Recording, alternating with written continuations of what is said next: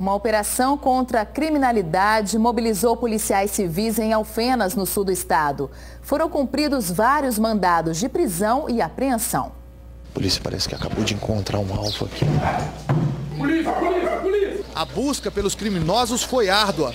Nesta casa, no bairro Pinheirinho, os investigadores e delegados buscavam um dos chefes do tráfico de drogas. O suspeito não foi encontrado, apenas a mulher dele, que afirmou não saber do passado do marido. Eu tô com ele há pouco tempo, ele é meu marido, quem tem que saber se tem passagem à polícia. Aqui no bairro Santa Clara, a gente pode ver ó, que a polícia já cumpriu um mandado de prisão e agora está cumprindo o mandado de busca e apreensão. Você tem passagem?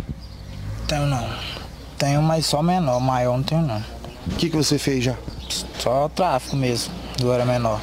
E essa tatuagem aí de, de palhaço? Fiz menor. Mas o que, que ela representa? Tador de polícia.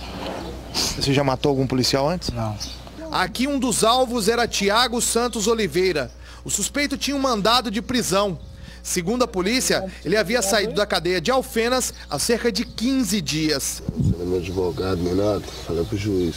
No bairro Jardim Boa Esperança, a polícia encontrou uma grande quantidade de drogas nessa casa. Segundo a polícia, tinha umas telhas em cima, eles esconderam bem aqui, um lugar onde que tem umas, umas mamonas, bem atrás da casa onde essas pessoas moravam. Os policiais conseguiram escavar e retirar a droga, que agora está sendo levada junto com mais três conduzidos para a delegacia da cidade de Alfenas. Na porta da delegacia, mais um suspeito preso.